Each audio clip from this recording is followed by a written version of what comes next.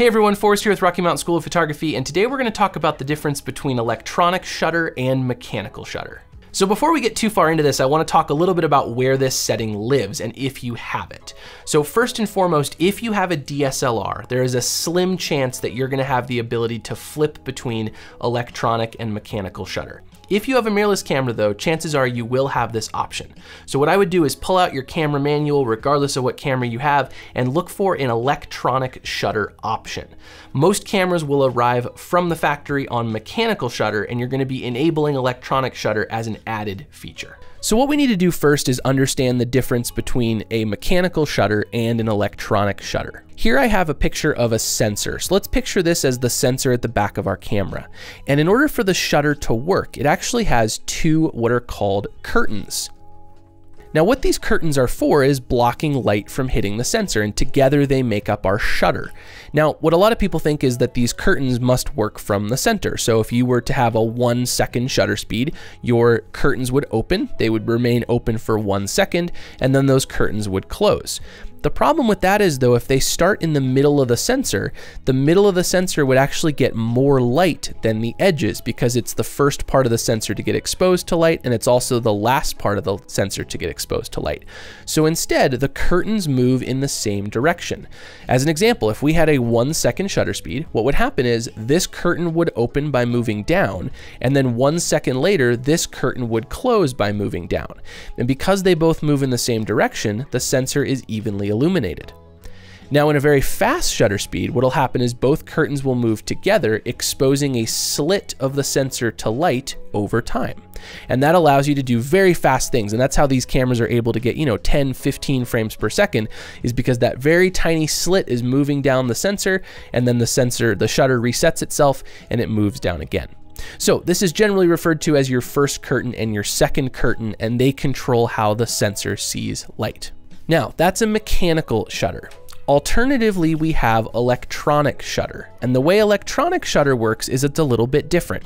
Instead of the entire sensor capturing light, the sensor actually reads light one line at a time. Now I'm saying line, well line I'm referring to one row of pixels.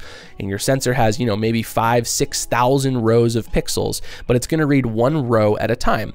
And what it's gonna do is it's gonna turn on that first row of pixels, read out what color they are. Then it's gonna turn on the second row of pixels, read out what color they are. And when that second row starts getting turned on and counting, the first row closes. And then it reads out the next one, reads out the next one, reads out the next one, reads out the next one, all the way down the entire surface of the sensor. So it's basically turning on the sensor and turning off the sensor one row at a time. Now, there are some little variations to this. There's new global sensor technology where the entire sensor can read itself out at one time. But in general, there's no shutter. There's no white piece of paper. This white piece of paper is just here for an example to show you how one row is being read out at a time. There's nothing actually physically blocking the surface of the sensor. And that allows this to work very quickly. We're no longer waiting for a mechanical shutter curtain to move across the surface of the sensor. Instead, it's able to just read it out as quickly as it can read out those values. And obviously, as time goes on and technology gets more advanced, that read speed is increasing, uh, and as different sensors evolve, that's just going to continue to get better. So now that we've looked at how this mechanically works and we understand the process and the differences between the two, let's talk about pros and cons, and more importantly, when we should be using electronic and when we should be using mechanical shutter. Let's start by talking about the advantages of an electronic shutter. And the first thing I wanna mention is speed. Electronic shutters are able to shoot at much higher shutter speeds than a mechanical shutter can ever achieve. As an example, most mechanical shutters these days are locked at 1 8,000th or 1 4,000th of a second as the fastest possible shutter speed, whereas a lot of electronic shutters can go to 1 32,000th, 1 64,000th, and even faster. Now what that means practically is sometimes at 1 4,000th or 1 8,000th, if we're shooting outside on a bright sunny day and we're using a very fast lens like an f1.4 or f1.2 lens, sometimes even at 1 4,000th or 1 8,000th of a second with our ISO all the way down, we're actually still capturing too much light with our fastest shutter speed. And that can be really nice if we can just switch our camera over to electronic shutter and all of a sudden get a faster shutter speed, it allows us to use those very wide open apertures in very brightly lit environments. Additionally, that fast shutter speed is also able to freeze motion more. So sometimes if you're shooting something incredibly fast moving, even at 1 8 thousandth of a second, you still might have a bit of motion blur. All of a sudden going to 1 32 thousandth or faster, you're gonna be able to stop that motion very easily. Another speed advantage of an electronic shutter is its ability to shoot at a higher frames per second rate. Most mechanical shutters top out at 12 to 15 frames per second, whereas electronic shutters can sometimes hit over 100 frames per second in certain situations. This means if you're shooting sports or action, things like that, you can get those higher frame rates, which is gonna allow you to get more shots of a given action. Another advantage of an electronic shutter is silence. So if you're an event photographer shooting in a very quiet environment, environment, you're gonna be able to take pictures with no moving parts, so your camera is gonna operate completely silently. Now I will also say this is a disadvantage as well. A lot of people that you're photographing are used to hearing that mechanical sound of a shutter, and you'll be left in awkward situations trying to say like, no, I got the picture, even though someone didn't hear the shutter click. Finally, the last advantage to me is wear and tear on the camera as well as shake. Because there's no moving parts, you're not gonna be introducing any extra shake into the camera. So things like mirror lockup that we used to do to lock up our mirror and worrying about when the shutter opens and closes, shaking the camera, we don't have to worry about that stuff. So if you're shooting with a very slow shutter speed, doing astro or night photography, that mechanical shutter is gonna give you a much less shaken camera. There's gonna be no vibrations going on. It's gonna be a very very clean image. All right, now let's get into the disadvantages of electronic shutter. And obviously these disadvantages are also the advantages of mechanical. The first and most important is something called rolling shutter. This is something that videographers have been dealing with for a while, but photographers now, we have to worry about this as well. What rolling shutter is, is because the sensor is read out line by line or row by row, if you're shooting something very fast moving, you can actually get bent lines. If you have some vertical lines in your image, say something's moving quick or the camera is being panned very quickly, the subject will actually move over the course of each line of the sensor being read. And that can create what's called rolling shutter, which basically is just a straight line appearing to be bent.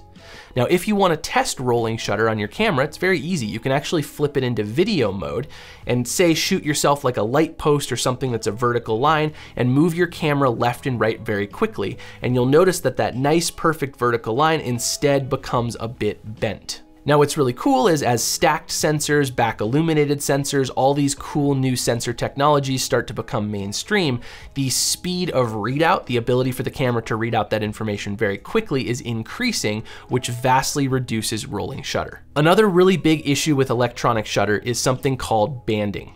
These days with most houses, businesses, streets, pretty much everything illuminated with LED lights, we run into this issue quite a bit. LEDs actually turn on and off as a control of brightness, and they do it so quick that our eyes actually can't see it, but our cameras will pick that up. And moreover, because our sensor is read out line by line from top to bottom with an electronic shutter, you're actually gonna get dark and light bands running through your photo horizontally. Now the fix for this is really just to mess with your shutter speed until you find a shutter speed that doesn't get as much banding. However, that can be really hard, and especially if you're an event photographer and you're trying to find this magic shutter speed that works and the lights are changing, it really can be quite a challenge. Mechanical shutter can also show banding in certain situations, but it's much less likely. So if you're out there shooting and you see bands running through your photo, if you can change the light source, try that. If you can change your shutter speed a little bit, that might help as well, but you might have to switch to mechanical shutter. I think it's also worth mentioning that many cameras have an anti-flicker mode. You can turn that on. That's gonna have the camera basically give its best guess at fixing that flicker and detecting it. And lastly, the final disadvantage of an electronic shutter is your flash sync speed. If you're trying to shoot with a speed light or a strobe in the studio, generally in electronic shutter mode, your sync speed is gonna be a little bit slower than it will be with a mechanical shutter.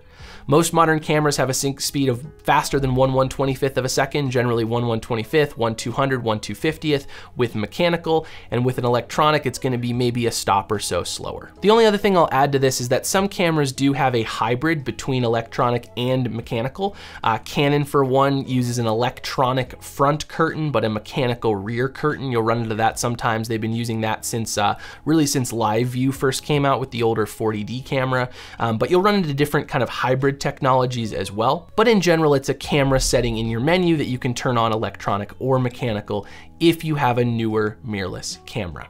So where does this leave us? How should we set our cameras? Well, it really depends on the person. I personally still prefer mechanical shutter. I really like the sound of my camera clicking, I enjoy that. However, I do know when and where I like to use electronic shutter, which is really two things for me. Number one, if I'm shooting outside on a bright sunny day, I will flip to electronic to allow myself to use those wide open apertures. Secondly, I'll switch to electronic if I'm doing night photography and I wanna limit any sort of shake induced into the camera. However, if you're an event photographer and you commonly shoot in very quietly lit situations, I would be leaving electronic on most of the time. However, I'd be keeping a keen eye out for things like banding and flicker. Everyone, I hope you found this video useful. If you did, definitely drop a like down below, hit subscribe to stay up to date with future videos, and if you have a question or hey, maybe another advantage or disadvantage to electronic or mechanical shutter, leave it down in the comment section down below. I will see you in a future video. Thanks for watching.